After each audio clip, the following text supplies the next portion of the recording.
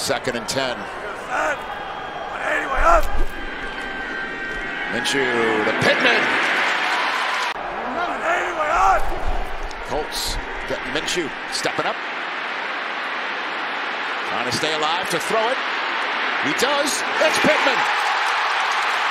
Pittman ruled out of bounds inside the 10. Nothing quick. Just buy yourself some time. And I love how he fades back away from the line of scrimmage.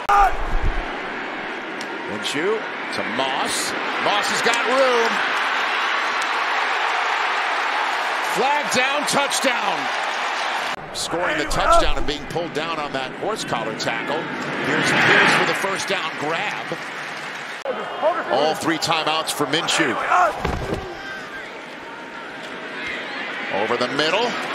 That is caught by Montgomery. Zach, green 18, Reggie son. Minshew over the middle. That's Montgomery. That's a touchdown from Montgomery. And the Colts tie it. Started with great protection up front. Gardner looking to his right. Not there. Comes back to the shallow to Montgomery. Successful challenge by Shane Steichen. Leads to Minshew to the end zone. Touchdown, Mo Alley Cox.